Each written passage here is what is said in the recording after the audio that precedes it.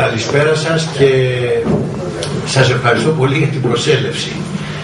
Και όπως λέει η λαϊκή ρίση, να είμαστε πάλι εδώ μετά από ένα χρόνο. Ε, το φετινό ημερολόγιο ε, για μας ήταν πιο δύσκολο από τις άλλες χρονιές γιατί ο Πάρνας παρότι σαν όγκος και σαν βουνό και σαν πολιτισμός και σαν ιστορία ε, είχε διαφορετική ε, οπτική από ό,τι είχε ο Ταΐγετος με τους πολλούς περιηγητές από το, από το εξωτερικό που ερχόντουσαν να τον δούνε για διαφόρους λόγους κλπ. Ε, είχε μια δυσκολία να αποδώσουμε όσο μπορούμε περισσότερα πράγματα και να είναι και περιεκτικό, να είναι ένα ημερολόγιο. Δυστυχώς και φέτος υπερβήκαμε τις σελίδες, είναι ένα τόμος 320 σελίδων, το μεγαλύτερο ημερολόγιο που έχουμε βγάλει και ας ελπίσουμε να σταματάμε εκεί γιατί και τις άλλες χρονιές που θα κάνουμε όπως του χρόνου λέμε να κάνουμε το άλλο κομμάτι του Μαλέα ή τη Μάνη για να ολοκληρώσουμε όσο μπορούμε αυτά που δίνουμε κάθε χρόνο στα λακωνικά ημερολόγια. Ε, εσείς θα το κρίνετε και ευχαριστώ και πάλι για την προσέλευση.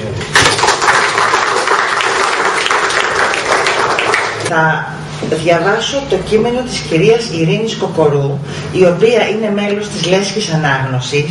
Ε, ήταν πολύ δύσκολη η παρουσία της απόψε και μας παρακάλεσε να διαβάσουμε το κείμενό της. Ε, στη συνέχεια οι υπόλοιποι όμως, εκτός νομίζω από τον κύριο Ματάλα, ο οποίος δεν μπορεί να παραβρεθεί σήμερα, ε, είναι παρόντες. Ε, σύμφωνα λοιπόν με την κυρία Κοκορού, έχει ιδιαίτερο ενδιαφέρον η έκδοση ενός ημερολογίου αφιερωμένου σε ένα βουνό. Όλες σχεδόν οι πολιτιστικές παραδόσεις έχουν σε εξέχουσα θέση το βουνό ως σύμβολο. Αν το δει κανείς από ψηλά πλαταίνει βαθμιαία σε ένα ανάποδο δέντρο που οι ρίζες του φυτρώνουν προς τα πάνω ενώ η φιλοσιά του μεγαλώνει προς τα κάτω εκφράζοντας έτσι πολλαπλότητα, διεύρυνση, συνέλιξη και πραγμάτωση. Τι καλύτερο θα μπορούσαμε να ευχηθούμε για το 2016. Πόσο εύστοχη η επιλογή ενός βουνού ως κεντρικό θέμα ενός ημερολογίου. Το βουνό θεωρείται το κεντρικό σημείο του κόσμου. Εκεί όπου η κίνηση ως χρόνος και η ακινησία ως αιωνιότητα συνευρίσκονται. Στις αρχές της δεκαετίας του 70, με την καθοδήγηση του αείμνηστου προϊστάμενου συντηρητή έργων τέχνης Σταύρου Παπαγεωργίου και της τότε διευθύντριας Εμιλίας Μπαπούρου. Το έργο αυτό συνεχίζει και στις μέρες μας, συρρυκνωμένο δυστυχώς, εξαιτίας της ελλειπούς πλέον στελέχωσης της υπηρεσίας στον τομέα της συντήρησης. Βασικές συνιστώσεις των εργασιών που κάθε φορά πραγματοποιούνται αποτελούν η τεκμηρίωση της αρχικής μορφής, η διαφύλαξη και η ανάδειξη των αυθεντικών στοιχείων, η αναστρεψιμότητα των επεμβάσεων, η αναγνωσιμότητα των νέων κατασκευών και η χρήση παραδοσιακών υλικών και τεχνικών θα παρουσιαστούν τέσσερα μνημεία από την ευρύτερη περιφέρεια και τον οικισμό των Χρυσάφων, τα οποία διασώζουν γραπτούς διακόσμους που χρονολογούνται στον 17ο αιώνα. Ο οικισμός γνώρισε οικονομική ευμάρεια μέσα στον αιώνα αυτό, γεγονός που τεκμηριώνεται από τις πηγές και μαρτυρείται από τον αριθμό των μνημείων που ανεγείρονται και διακοσμούνται, τόσο εντός αυτού όσο και στην ευρύτερη περιφέρειά του. Το μακροχρόνιο, επίπονο και δύσκολο έργο της συντήρησης των γραπτών διακόσμων στα μνημεία αυτά επομίστηκαν οι συντηρητές έργων τέχνης Θεόδωρος Βαχαβιόλος και Παναγιώτης Τότσης.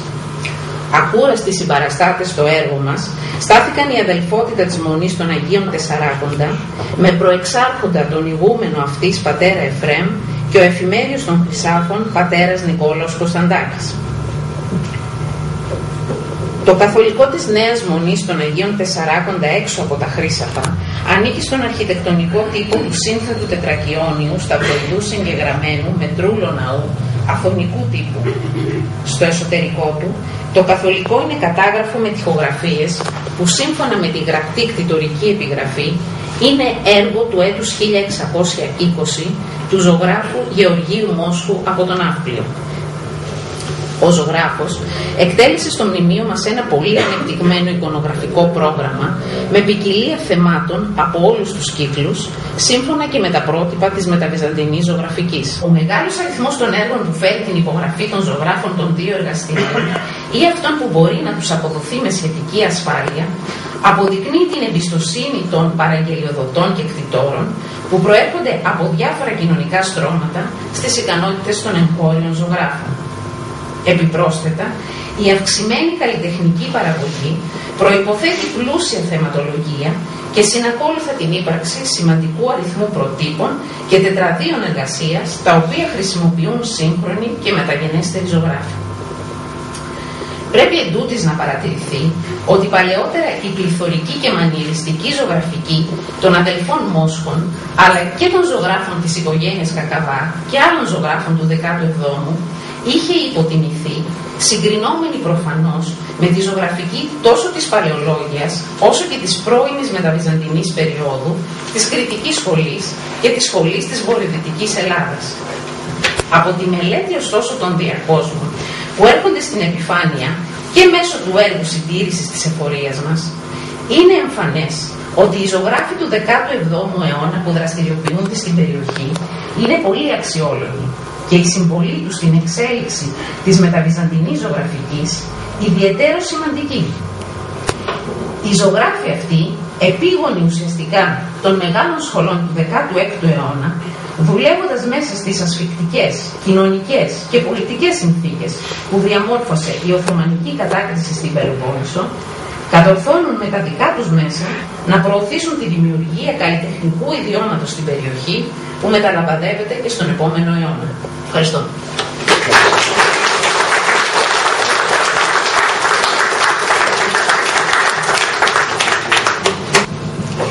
Διαβάζοντας τον τίτλο της εργασίας που θα σας παρουσιάσω, είναι φυσιολογικό να αναρωτιέστε πόση σημασία μπορεί να έχει η πληροφορία ότι η ονομασία Πάρνονας ήταν άγνωστη στους παλαιούς χαρτογράφους.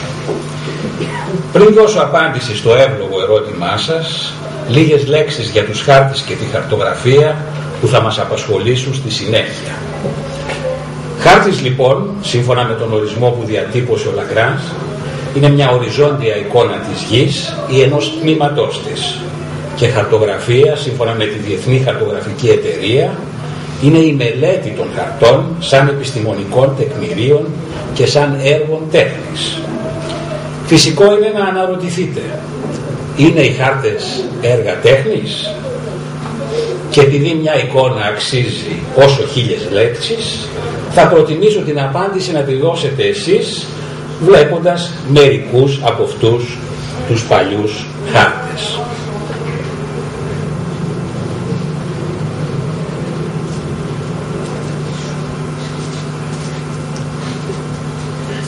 Νομίζω πως αβίαστα θα συμφωνήσετε ότι ναι, οι παλιοί χάρτες είναι έργα τέχνης. Κατά συνέπεια, όσοι ασχολούνται με αυτούς τους χάρτες έχουν πρώτα απ' όλα τη χαρά της αισθητικής απόλαυσης. Υπάρχει όμως και κάτι άλλο το οποίο προσωπικά με συναρπάζει. Είναι οι πληροφορίες που μπορούν να αντληθούν από τη συστηματική μελέτη τους. Εδώ θα σας, θα σας υπενθυμίσω μια δυσάρεστη λεπτομέρεια. Στην Ελλάδα, σε αντίθεση με άλλες πολιτισμένες χώρες, δεν υπάρχει αξιόλογη δημόσια συλλογή τέτοιων χαρτών, στην οποία να έχουν πρόσβαση μελετητές. Κατά συνέπεια, αν κάποιος θελήσει στη χώρα μας να ασχοληθεί συστηματικά με τη χαρτογραφία, πρέπει ή να είναι συλλέκτης χαρτών ή να έχει πρόσβαση σε κάποια από τις σημαντικές ιδιωτικές συλλογές. Διαφορετικά θα πρέπει να προετοιμαστεί για ένα πολυέξοδο ταξίδι στο εξωτερικό. Ας ελπίσουμε βεβαίως ότι στο ορατό μέλλον θα υπάρξει αλλαγή νοοτροπίας και πολιτικής από τις δημόσιες υπηρεσίες, αλλαγή που θα προσελκύσει συλλέκτες ώστε να δωρήσουν τις συλλογές τους. Τον δρόμο τον έχουν δείξει προπολού οι ξένοι. Όλες τις σπουδαίες δημόσιες συλλογές του εξωτερικού έχουν δημιουργηθεί κυρίως από δωρεές ιδιωτών. Μετά από αυτή τη μικρή εισαγωγή μπορούμε νομίζω να προχωρήσουμε στο κυρίως θέμα μας. Θα ξεκινήσω από ένα άρθρο του Μακαρίτη ιστοριοδίθη Θάνου Βαγενά που δημοσιεύτηκε πριν από 50 χρόνια στην, στην Πελοποννησιακή Πρωτοχρονιά με τίτλο «Πάρνων το θαυμαστό βουνό». Γράφει λοιπόν ο Βαγενάς «Η λέξη Πάρνων είναι αρχαιοτάτη και πρέπει να συνδυαστεί με τα ονόματα και των περίπου συνώνυμων βουνών Πάρνης Παρνασσός Μερικοί λένε πως Πάρνον δηλώνει την λάμπουσα κορυφή από τον ανατέλλοντα ήλιο ή τη σελήνη και ονομάστηκε από αυτούς που έβλεπαν τον Πάρνονα στα ανατολικά όπως είναι δηλαδή, δηλαδή οι κάτοικοι της Σπάρτης και της Παιδιάδας της Λακεδαίμονας. Αν δεχθούμε ότι η ονομασία του Πάρνονα είναι τόσο παλιά, πώς δικαιολογείται η μία αποτύπωσή της στους χάρτες; Μήπως τελικά η λέξη Πάρνονας δεν ήταν πλατιά διαδεδομένη; Μήπως το βουνό ήταν γνωστό με μια άλλη ονομασία; Απάντηση θα προσπαθήσουμε να δώσουμε στη συνέχεια μέσα από μια σύντομη αναφορά στους χάρτες της περιοχής. Κάθε φορά που αναφέρομαι στους παλιούς χάρτες δεν παραλείπω να αναφέρομαι στο πόσο σημαντική υπήρξε η συμμετοχή Ελλήνων στην ανάπτυξη της γεωγραφίας και της δημιουργίας χαρτών. Σε μια δύσκολη περίοδο απαξίωσης της χώρας και γενικής κατήφιας αξίζει να θυμόμαστε και να παίρνουμε κουράγιο από τα όσα μας κάνουν υπερήφανους αλλά και να υπενθυμίζουμε στους ξένους φίλους μας που μας κατηγορούν ακόμη και για πράξεις που δεν έχουμε ευθύνη όλα αυτά τα σπουδαία πράγματα που έχουν προσφέρει οι πρόγονοί μας στην ανθρωπότητα. Τον, έξω, τον έκτο π.Χ. αιώνα ο Αναξίμανδρος κατασκεύασε ένα παγκόσμιο χάρτη. Λίγο αργότερα ο Εκατέος συνέθεσε την πρώτη επίσημη γεωγραφία. Αλλά η πιο σημαντική μορφή ήταν ο Κλάβδιος Πτολεμαίος που έζησε στην Αλεξάνδρεια της Αιγύπτου το δεύτερο μετά Χριστόν αιώνα. Για 1500 χρόνια το έργο του γεωγραφία με τη χειρόγραφη μορφή του κυριάρχησε τόσο στο χριστιανικό όσο και στο μουσουλμανικό κόσμο. Ε, για άλλη μια χρονιά λοιπόν το λακωνικό ημερολόγιο τέλεια ε, προτείνει στους ε, φιλέρευνους αναγνώστες του μια σύνθετη εικόνα ε, ενός βουνού συμβόλου για μας. Μια εικόνα που θα κατακτηθεί σελίδα τη σελίδα, άρθρο το άρθρο, καθώς ξε, ξεδιπλώνονται οι πολύχρωμες πτυχές ενός πλήθου, πλήθους θεμάτων που αναφέρονται στον Πάρνονο και μόνο για τον ε, τομέα που φιλοδοξούσα να διατρέξω ε, δηλαδή αυτό που σχετίζεται ας πούμε με τη φύση και τις δραστηριότητες που σχετίζονται με αυτή μια, ε, ένα γρήγορο διάβασμα των περιεχομένων θα σας δώσει το 1 τρίτο της εικόνας των περιεχομένων του ημερολογίου. Ε, υπάρχει η αναφορά στην ανάβαση στην κορφή του Πάρνονα, στο Ευρωπαϊκό Μονοπάτι Μεγάλων Διαδρομών, στο εργατικό καταφύγιο του Πάρνονα μαζί με τη φιλόδοξη πρόταση της ε, Αστρονομικής Ένωσης Πάρτης για τη δημιουργία ενός κέντρου ε, αστροπαρατήρησης ε, εραστεχνικής αστρονομίας, ε, το ιστορικό του Εργατικού Καταφυγίου, το δίκτυο των μονοπατιών του Πάρμονα, του Λακωνικού Πάρμονα, οι περιηγητικές διαδρομές στους οικισμούς του βορειοανατολικού Πάρμονα, του Καινουριακού, οι διαδρομές αντίστοιχα στην νότια Καινουρία, στο Κοσμά και το Λεωνίδιο, οι διαδρομές ακόμα πιο νότια στα όρια της αναφοράς μας στο Χιονοβούνι, το ε, ανερχόμενο και πολύ γνωστό όχι σε, στη διάσταση την ελληνική αλλά και την ευρωπαϊκή αναρχητικό πεδίο στο Λεωνίδιο. Ε, τα μικρότερα αλλά και αυτά φιλόδοξα αναρχητικά πεδία στο Κυπαρίσι και τον Άγιο Νικόλαο. Ε, τα σπήλαια του Λακωνικού και του Αρκαδικού Πάρνονα.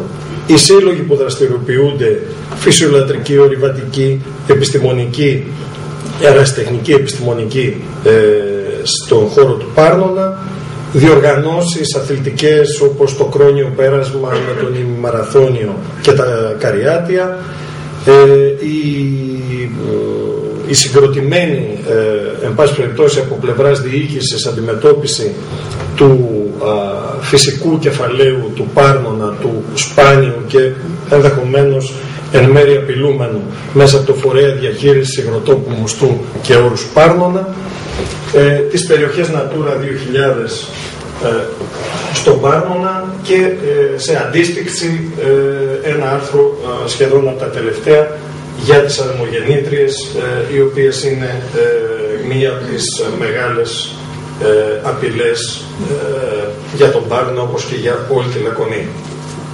Είναι ενδεικτικό γιατί σας λέω ότι αυτό σε έκταση καλύπτει λιγότερο από το 1 τρίτο του ημερολογίου. Άρα λοιπόν ε, αυτή ήταν η αναφορά μου στις ε, πολύχρωμες πτυχές των πολύ διαφορετικών θεματικών που συνθέτουν σελίδα της σελίδα και άρθρο το άρθρο